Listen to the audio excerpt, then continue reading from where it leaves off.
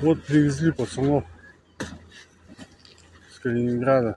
Kaliningraddan səfərbər olunaraq Ukraynaya göndərilən çağırışçıların görüntüləri yayılıb. Çağırışçıların sərxoş vəziyyətdə olduğu və müharibəyə yola düşməzdən əvvəl spirtli içki axtardığı deyilir.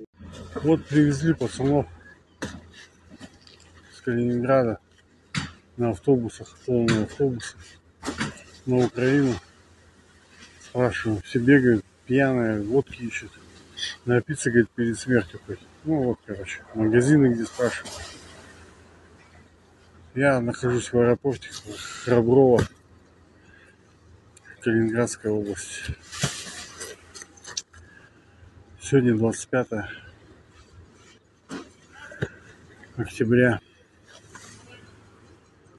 Ну так, вот пацаны понимают, что говорит, ну пушечное мясо, я с ними разговаривал. Просто ментов много. Как бы не дают сильно общаться. Ну все, вот пацаны поехали.